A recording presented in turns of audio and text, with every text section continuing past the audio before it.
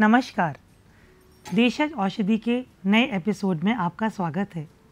आज हम बात करेंगे सर्वसुलभ अमरूद की। अमरूद का पका हुआ फल सर्वत्र प्रचुर मात्रा में खाया जाता है और सभी लोगों को अत्यंत प्रिय भी होता है। इसके बीज स्वास्थ्य के लिए अच्छे नहीं होते। इसका पका हुआ फल भूख बढ़ाता है, पाचन क्रिया भी ठीक करता है।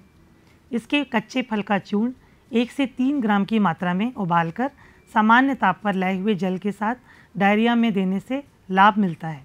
कच्चे फल का चूर्ण पानी में रात भर भिगोकर सुबह छानकर पीने से मधुमेह में बार बार लगने वाली प्यास में शांति मिलती है। अमरूद की जड़ की छाल का काढ़ा बालक और बालिकाओं में होने वाले दस्त में अत्यंत लाभ देता है।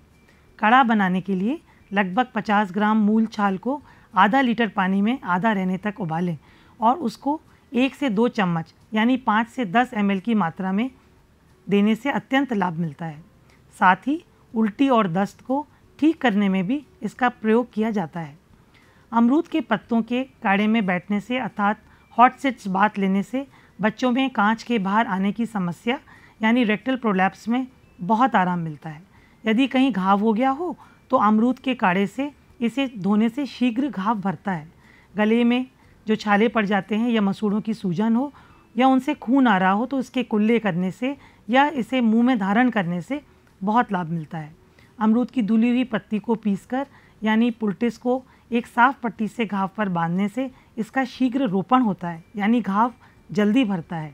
इसके पके हुए फल को उबालकर जेली बनाई जाती है, जो कि कब्ज़ के लिए एक मुफीद दवा है। यह हृदय रोगों के लिए भी लाभकारी है। इसे एक से दो चम्मच की मात्रा में लें। अब जानते हैं कि अमरूद की जेली कैसे बनाई जाती है। इसके लिए पहले कुछ सामग्री इकट्ठा कर लें, जैसे आधा किलो पका हुआ अमरूद, एक कप पानी, एक कप मिश्री, एक चम्मच नींबू का रस, छानने की छन्नी, पकाने के लिए प्रेशर कुकर, आलू का बुरता बनाने वाली कलछी। सर्वप्रथम अमरूद को अच्छे से धो लें, उसके छोटे छोटे टुकड़े कर लें, पानी डालकर प्रेशर कुकर में चढ़ा दें, एक सीटी आने पर फ्लेम बंद करें चार से पाँच सीटी आ जाए तब गैस बंद करें। जब प्रेशर कुकर खुल जाए, तब चोखा बनाने वाली कलची से अमरूद को अच्छे से मैश करें। फिर छन्नी से अमरूद का रस निकाल लें। प्रत्येक एक कप के रस के बराबर मात्रा में मिश्री को लें और जो नींबू का रस है उसको वैसे एक चम्मच लेना चाहिए, पर मात्रा अनुसार कम भी कर सकते हैं। जब रस निकाल लें, तब उसको मिश्री मिलाकर मंद आँच पर गाढ़ा होने तक पकाएँ। इसे तश्तरी पर डालकर देखें। यदि मिश्रण ना हिले, तब समझें कि जेली को जमाने का समय हो गया है। इस मिश्रण को साफ़ किए हुए सूखे कांच के पात्र में डाल दें।